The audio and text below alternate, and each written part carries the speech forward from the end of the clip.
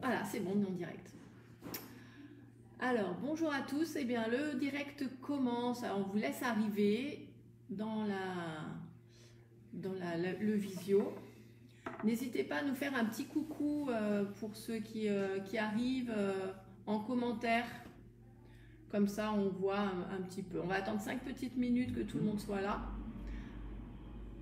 Et pendant ce ben, je vous pré... Alors, attendez, je vais en- enregistrer. Ah non, ça Je vous présente euh, Michel Alverna. ça Alvernia, pardon. voilà. Donc, qui, euh, qui est cavalière de concours, qui va se présenter dans quelques instants. Et puis Gilles Goncalves, hein, que vous connaissez pour Equitalliance, qui s'occupe de faire, euh, de- d'enseigner la communication animale, la lecture du vivant et sur l'humain aussi. hein, on travaille beaucoup sur l'humain. Et, euh, et qui fait aussi euh, beaucoup de, de stages perfectionnement euh, à la suite de la formation de comportementaliste équin. Voilà. Bonjour tout le monde.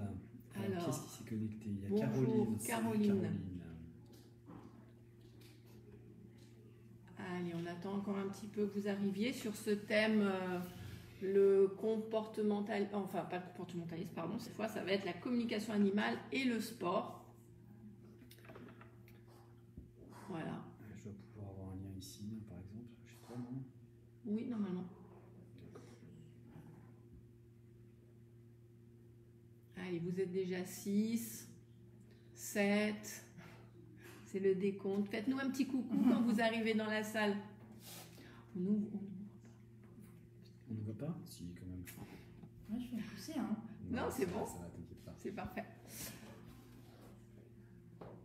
Voilà. Alors, buvez un petit café en attendant que- qu'on ait un petit peu plus de monde. Voilà, on monte à 9. ça Mais oui, mais c'est ça, c'est fait, sympa. comme on est supermarché, Bon, il y a même- des promos en ce moment dans les rayons de légumes surgelés.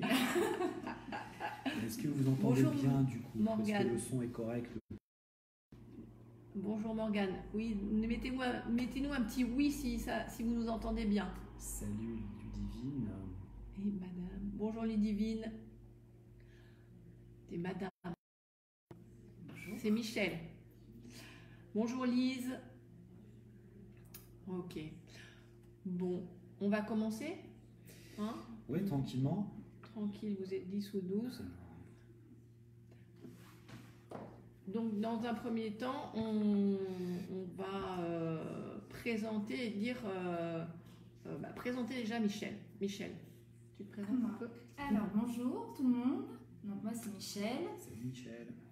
Je suis en formation comportementaliste équin avec euh, Coralie euh, Equita Alliance depuis février 2020 et actuellement en stage avec Gilles Mhm.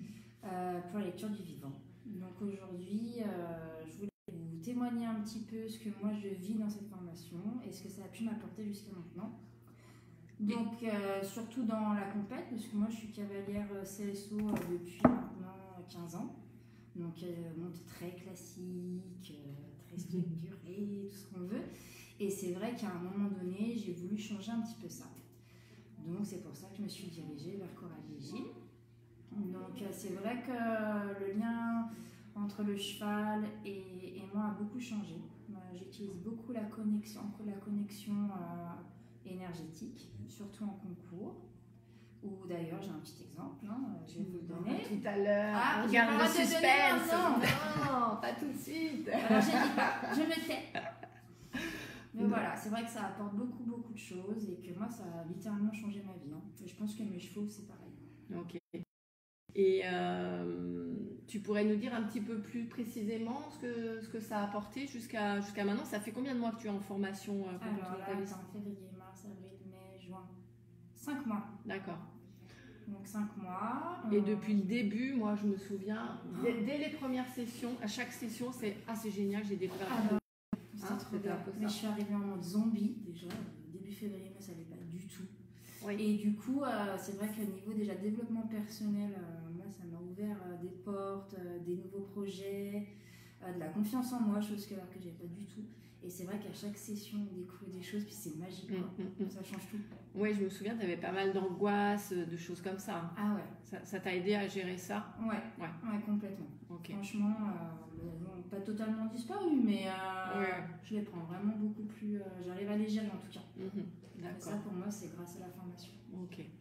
Très bien. Et Gilles, toi, tu peux te présenter et puis nous dire ce que ça t'apporte, du coup ce que ça apporte, ce que tu enseignes. Ce que j'enseigne, oui. Alors, ce que ça m'apporte, évidemment, c'est toute ma vie, donc ça m'a euh, moi, je suis formateur. Alors, j'ai des hyperperceptions depuis petit, du coup, donc je me suis dirigé automatiquement vers les métiers de l'énergétique, euh, notamment de la médecine traditionnelle chinoise. Donc, j'ai une école de médecine traditionnelle chinoise d'acupuncture et de qigong médical à Genève. Euh, mais là, on est dans un tout autre cadre avec Coralie et Kit Alliance. On est dans le cadre de l'énergétique à distance, de ce qu'on a appelé, nous, lecture du vivant, en fait, qui a été mis en place pour aider euh, bah, soit les humains à traiter d'autres humains. Donc, c'est de la médecine énergétique à distance, mais on sort de la nomenclature d'acupuncture ou euh, traiter des animaux à distance. On est dans le cadre donc de la communication animale. Donc euh, le but du jeu, en fait, euh, bah, c'est de pouvoir avoir de l'information sans toucher, avec un animal évidemment sans anamnèse. Ça veut dire qu'il n'y a pas de grand interrogatoire et donc euh, substituer l'interrogatoire par l'intermédiaire du ressenti, des perceptions pour avoir de l'information. Et donc de l'information précise, parce que c'est notre but, c'est d'avoir de l'information la plus précise possible au niveau des dysfonctionnements organiques, euh, le poumon par exemple, le cerveau, le foie, etc.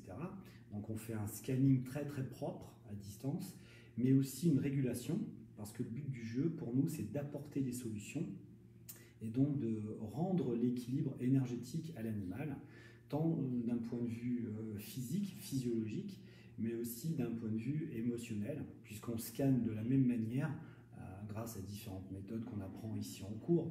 D'ailleurs, on est dans la salle de cours parce qu'aujourd'hui, on est en stage. On est dans le volet 3 euh, de la com animale. On est en train de terminer. On va certifier cet après-midi les, personnes après avoir vérifié euh, plusieurs choses.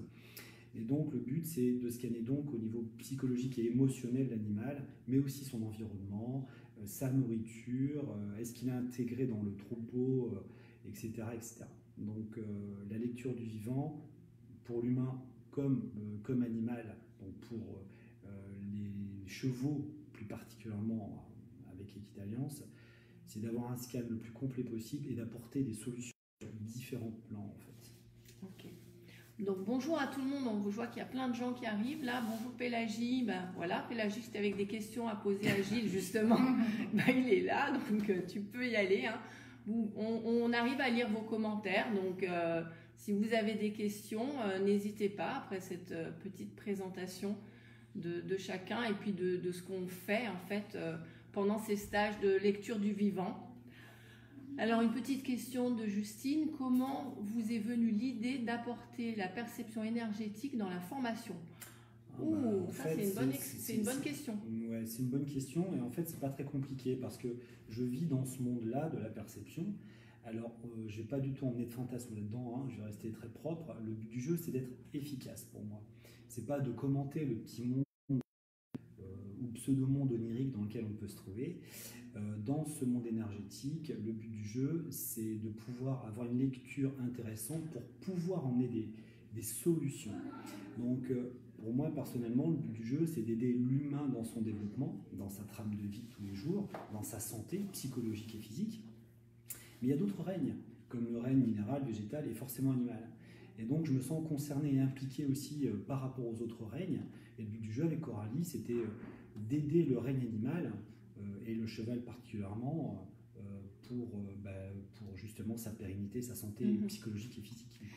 Et, et, et pourquoi l'idée d'apporter mais c'était une évidence en fait. Moi, quand j'ai rencontré Gilles il y a 20 ans de ça maintenant, ah j'avais un centre, ouais, j'avais un centre équestre et euh, et on a fait des expériences. c'est ça. Ah ouais, mais c'est vrai. Hein. Il m'a fait travailler. Et je ah ouais, je lui ai fait monter un cheval euh, complètement. Euh, complètement à l'envers. Vous savez, le, cheval, euh, le vilain petit canard du club, il y en a dans tous les clubs, tu vois.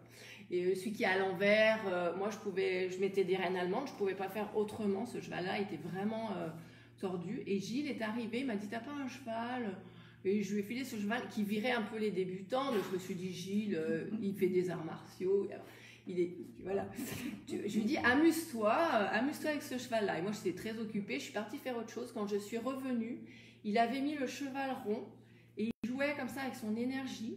Et le, le cheval, il s'arrondissait et il se mettait à marcher avec l'amplitude. Et je suis restée, mais sidérée. Et je lui ai dit, mais comment tu fais ça quoi? Et c'est de là que c'est parti. Donc ça, c'est parti dans mon travail de comportementaliste. Donc j'ai beaucoup, beaucoup expérimenté à partir de là. On a fait des stages, depuis 2002, on fait des stages de lien énergétique avec le cheval. Et, et, euh, et, donc de l'enseigner dans la formation, bah, c'était une évidence en fait. Mhm. voilà.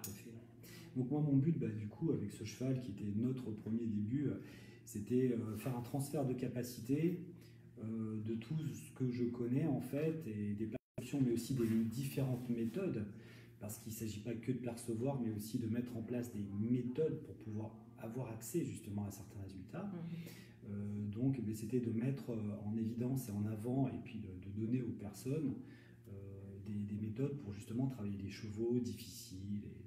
ou énergétiquement pas très stables, psychologiquement pas stables, etc. Voilà. Et d'ailleurs, pour en revenir, puisque le thème c'est quand même la, euh, on a fait des, stages ensuite euh, avec des cavaliers de complet, hein, Bernard Bruel qui maintenant ne tourne plus, mais il tournait en CCI 2 étoiles. Et on a un accompagnement euh, dans sa structure avec communication sur les chevaux, sur les humains, parce que toi tu es spécialiste de l'humain. Et on, voyait déjà beaucoup plus de fluidité, beaucoup moins de, peur de cavalier. ça, fait vraiment un amalgame de choses qui, euh, qui amenaient vers la performance. Quoi. Mais ça, de ça, il y a déjà 10 euh, ans. Ah C'est cet exemple-là. Euh, et donc, du coup, c'est assez intéressant comme milieu la compétition parce qu'en en fait, il y a beaucoup de, choses à y emmener, autant pédagogiquement pour accompagner le cavalier, évidemment, puis la santé du cavalier, parce que si le cavalier nerveusement n'est pas en place, ça va complètement influer sur le résultat, évidemment. Et puis euh, sur aussi euh, l'équilibre nerveux et euh, physiologique de l'animal, du coup. Plus, dans le cas de la compétition, on y avait quand même emmené, on emmène régulièrement des méthodes de préparation à la compétition, parce qu'on ne va pas dans une compétition comme on va au supermarché, il y a du stress, il y a des enjeux, il y a des personnes qui vous observent, on est plus ou moins en forme ce jour-là, donc il y a des préparations spécifiques qu'on peut emmener. Voilà on n'est pas que dans de la préparation mentale, on va beaucoup plus loin dans mhm. d'autres dimensions aussi de l'être humain et du cheval euh, par rapport à ça, donc par la com et par euh, l'énergétique. Et d'ailleurs, Michel, j'aimerais que tu nous racontes un peu cette histoire euh, qui s'est passée le week-end dernier avec ta jument que tu as montée en concours samedi et dimanche. Alors vas-y, raconte-nous. Donc samedi, premier tour de la saison j'étais quand même bien stressée, hein, je vais pas dire le contraire, hein. et j'ai pas fait les euh, que j'aurais dû faire. c'était quelle, épreuve c'était C'était une 120. Euh, donc dans les choux complets, ah bah, là j'ai m'en servi de 1. Comme ça au moins. Donc j'essaie tant bien que mal de faire mon tour quand même, mais un peu à la rachoune. Hein. Donc elle se réarrête sur 6 je crois. Je sais pas. J'ai fini mon tour. On dit bon, alors euh, j'aurais été euh, l'année dernière un petit peu au colérus comme ça. Je me suis dit, là il y a un souci, Michel, t'es dans les choux complets.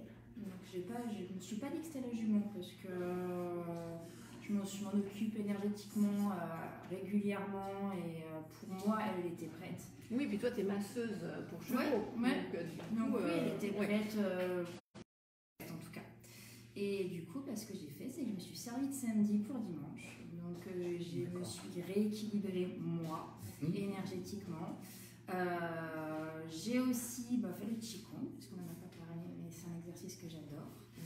Euh, et je suis arrivée donc, dans mon paddock, plus la même personne, complètement détendue, très très bien. Le tour super, je gagne. Mhm. Voilà. voilà. Ça a tout changé.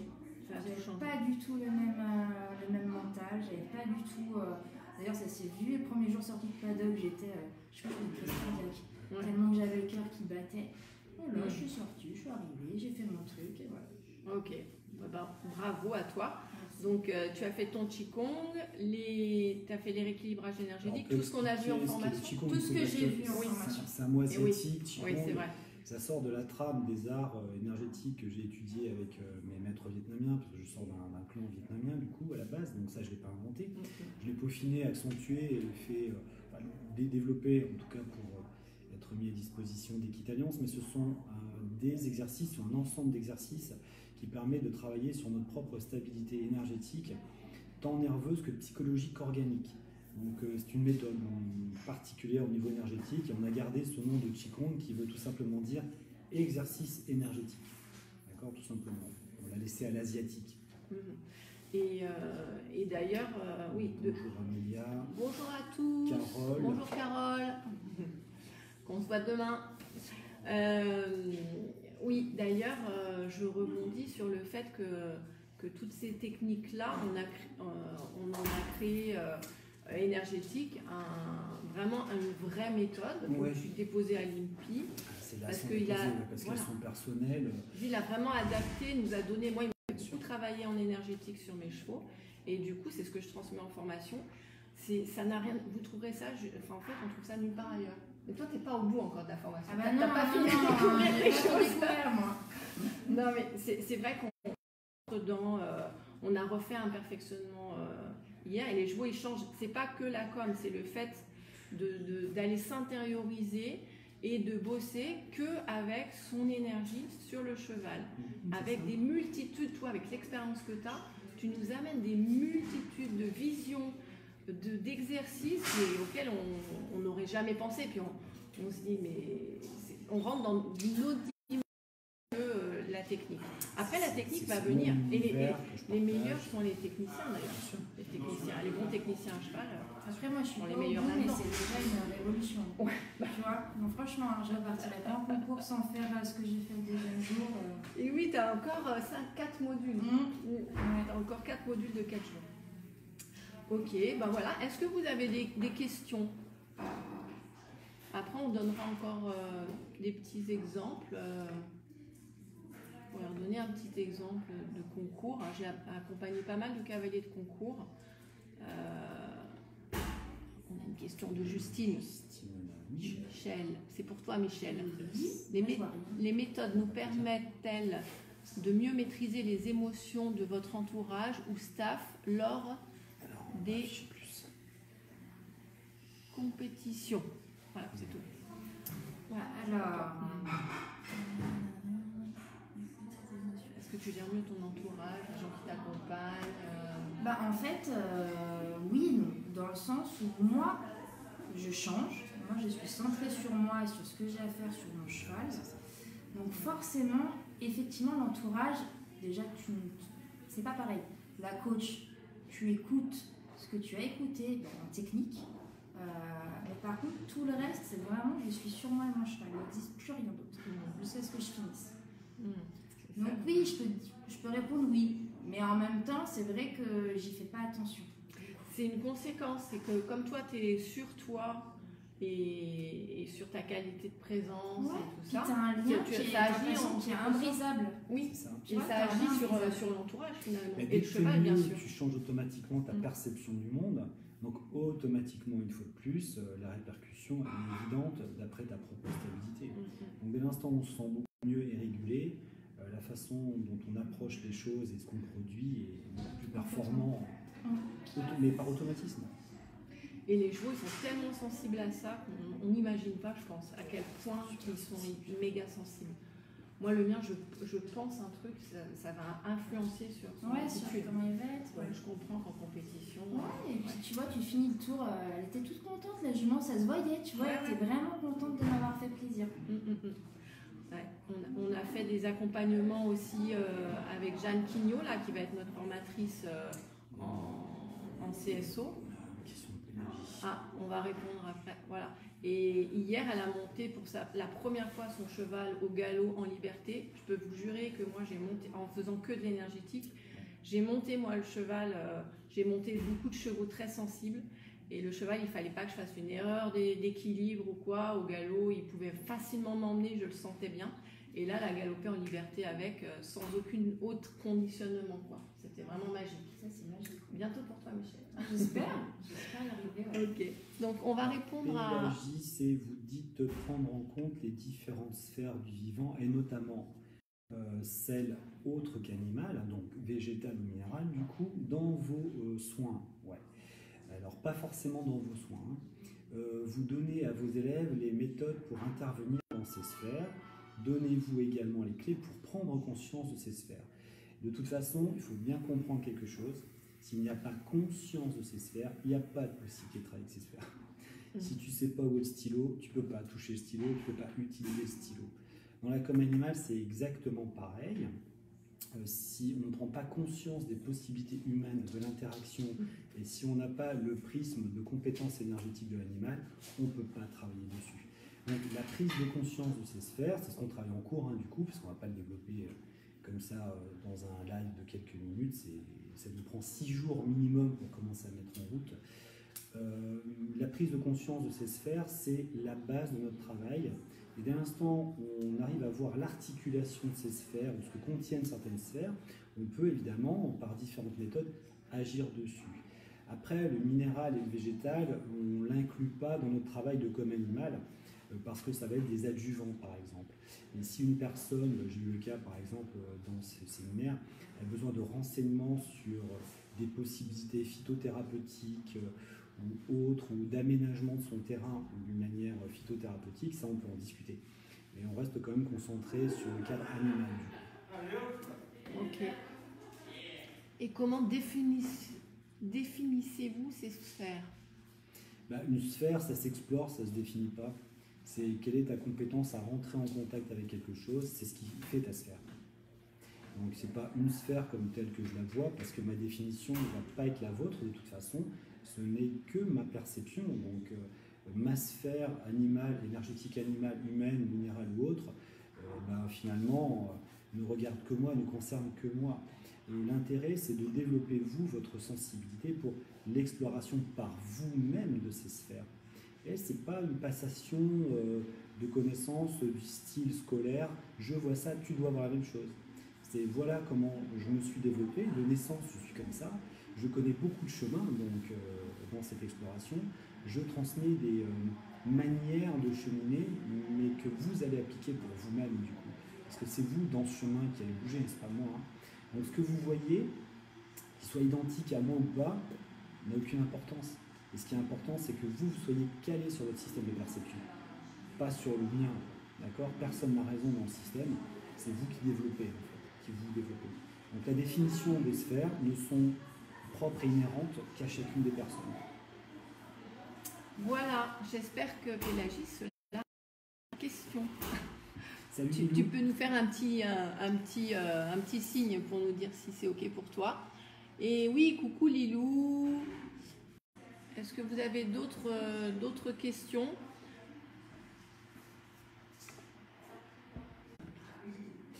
Il est 55 euh, quasiment, 53. Direct. Ok, on a une petite coupure. Bon, pas. Oui, ça a bugué, mais on, est de nouveau là, apparemment. Donc, euh, comme on est sur notre thème euh, le sport et la communication animale, oui, ça a bugué, mais on est de nouveau là. ouais, je, vais vous faire partager aussi une autre expérience que j'ai eue euh, en accompagnement individuel avec une, cavalière euh, qui avait une jument qui commençait de s'arrêter à l'obstacle. Et heureusement, elle est venue assez rapidement. Et c'était une jument quand j'ai scanné euh, cette jument-là, elle me montrait, j'avais en, com, hein, on va avoir euh, des images, on va avoir des ressentis. Euh, elle me montrait des crispations à l'abord de certains obstacles, de, la couleur rouge. Donc voilà, moi c'est ce que j'ai vu et c'est ce que j'ai transmis en fait à sa cavalière. Et du coup, on a pu bah, travailler sur les émotions de la cavalière par rapport à ces abords-là, parce qu'effectivement, elle me disait que qu'elle avait tendance à se contracter. Et, et on a résolu, le, voilà, en faisant les travaux, bah, le travail que tu dis, Michel, là-dessus, plus des rééquilibrages aussi sur sa, sur sa jument. Et, et ça, elle, elle, elle, ne s'est plus arrêtée du tout. Alors, avec un petit programme, avec les exercices de connexion que tu n'as pas eu encore monté, euh, on, a eu on avait une jument qui, euh, de, précipiter, la première fois que je suis montée dessus pour lui montrer les exercices, euh, elle, précipitait, de toute façon elle faisait toujours ça. Et moi j'ai laissé mes rênes longues, j'ai fait les connexions énergétiques hein, qu'on a, que Gilles a développées, et la jument s'est ralentie, elle s'est tellement ralentie qu'elle s'est couchée, elle commençait à se mmh. coucher. Et, et, donc, du coup, bon, j'ai remis des jambes pour qu'elle se relève. Et la fille, elle a fait Mais c'est pas possible, normalement, elle devrait être en train de marcher à 200 à l'heure. Euh, je l'ai jamais vu relâcher comme ça, c'était impressionnant. La jument, je venais de mettre mes fesses dessus, il y avait deux minutes, et euh, ça, ça agit tout de suite. Donc du coup, euh, du coup, forcément, en concours, elle a été beaucoup plus décontractée, et on sait qu'un cheval qui s'arrête, bah, c'est un cheval qui a des tensions, qui n'a pas envie et qui n'est pas avec son cavalier. Et du coup, on a remis complètement du lien grâce à la com et aux soins. Bonjour Axel. Voilà. Bonjour Axel, bonjour voilà, donc ben, si vous voulez euh, des... répondre à d'autres questions, puis on va, on va terminer dans quelques minutes. Sinon, on va vous dire au revoir. C'était pour vous faire un petit coucou et puis vous raconter un petit peu euh, ce qui se passe euh, avec Equitalliance et nos élèves, comme Michel.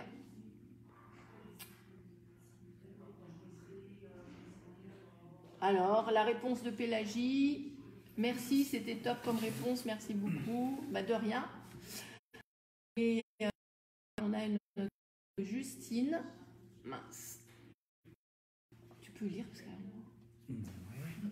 Comment les récompenses positives sont appliquées lors des compétitions. Faites en fin de compétition pour couper la connexion tranquillement. Alors là, il y a deux questions euh, dans une. Euh, les récompenses positives sont applicables sur la compétition. En fait, c'est toute une euh, pendant que je vais donner à, la, propriétaire du cheval, à la cavalière, qui est en même temps sur un entraînement pour changer l'émotion. Bah, par exemple, là, dans cet exemple que je viens de donner par rapport au sous-bassement, on a fait tout un. Ça revenu. Voilà. Bon, j'ai pas continué, j'ai vu qu'on avait été coupé. Donc voilà, on avait euh, fait un travail spécifique au clicker, c'est vrai, sur ces sous-bassements. Donc on va travailler en, amont surtout, hein. on va pas forcément bien, on, prépare, on fait un, euh, ce qu'on appelle euh, une, une, chaîne au clicker training et, du coup le cheval va, va adorer aller sauter. Le, le suivant va être une récompense. Donc on va pas faire ça sur le parcours, bien sûr, on va faire ça en entraînement avant. Voilà. Et pour euh, ce qui est de la deuxième question, faites-vous un travail en fin de compétition pour couper la connexion tranquillement euh, Tu pourrais répondre, euh, Michel va répondre à cette question Non. Euh, non, je fais rien à la fin de la compétition pour couper. On reste connecté Voilà, on reste connecté, même pour faire de dos. Mais non, non, non, non, rien du tout. On prend la, notre vie normale, on rentre aux écuries. Oui, c'est pas comme si c'était la magie, on fait un truc et après on arrête la magie. Ouais. Quand on se sent bien, en fait, euh, ben, on continue à se sentir bien, il n'y a pas d'interruption, chacun repart dans sa vie très tranquille, dans son équilibre psychologique et nerveux. Mm, mm. Euh, moi, je, je, fais plus de compétition, mais euh, quand je monte mes chevaux, je fais des, des, connexions tout le temps. En fait, je fais que ça, dans, dans, inclus dans le, le, travail. Et ben voilà, quand je dis ça, en fait, je les appelle au prix, ils viennent on est toujours connecté finalement. Après, on va couper une connexion quand vous travaillez en binôme. Pendant la formation, elles travaillent en binôme. Et je leur demande, quand elles travaillent à deux, qu'il y en a une qui, observe et qui va prendre le relais, que celle qui est en train de travailler coupe. moi, je fais juste un geste comme ça pour euh, laisser la place à l'autre parce que sinon le cheval va rester connecté avec euh, celle qui vient de travailler et là ça peut être un, peu embêtant. Tu as vécu ça en cours Mais euh, voilà, J'espère qu'on répond à ta question, Justine. Hop. Voilà, mais il n'y a plus de questions. On va enregistrer euh, ce live de toute façon, hein, pour ceux qui n'ont pas, euh, qui n'auront pas vu, et on le laissera sur, le, sur le, la page Mhm. toi, tu as une page aussi, Michel Oui. Tu peux nous dire. Ouais, alors MA avec un bien-être, moi je masse les chevaux avec un appareil qui s'appelle le G5. Donc c'est un appareil qui marche par vibration. Pour l'instant, je fais que ça et bientôt. tu auras plus besoin d'appareil. Voilà. c'est mon but. Et, tu es sur quelle région? Annecy, donc toute région Auvergne-Rhône-Alpes. Ah, on pas loin du coup. Ouais, on est juste à côté, ouais. Voilà. Et puis, euh, nous, on, a une euh, formation, euh, une deuxième, une autre formation qui démarre là cet ah été. la semaine prochaine, voilà, mais c'est quasi tout clos, donc le 13 et 14 juillet prochain, du coup. mais autrement, oui, les prochaines formations, ça va être en août. Je vais avoir des dates. Alors qu'est-ce que j'ai, qu'est-ce que je raconte Alors, non, les, prochaines... la prochaine session c'est 10 et 11 juillet, pardon. Oui, 16 juillet, donc ça va être la semaine prochaine. Et autrement, euh, les suivantes, ce sera le vendredi 13 et le samedi 14 novembre. Le 13 et 14 novembre, le premier module. Le deuxième module sera le 18 et le 19 décembre, toujours un vendredi samedi. Et le troisième module, un 12 et 13 février 2021. Euh, voilà. Pour clore cette trilogie. Et, et, celle de cet été, euh, il vous reste encore quelques jours pour vous inscrire. Hein. Voilà, c'est bien Voilà. on, pousse, on, pousse, les meubles. Voilà. Ok. Eh bien, merci à tous pour avoir euh, écouté ce live. N'hésitez pas à poser d'autres questions si vous voulez à Michel ou à Gilles ou, euh, ou à moi. Et on y répondra avec plaisir. Et on vous dit à bientôt. bye bye tout le monde.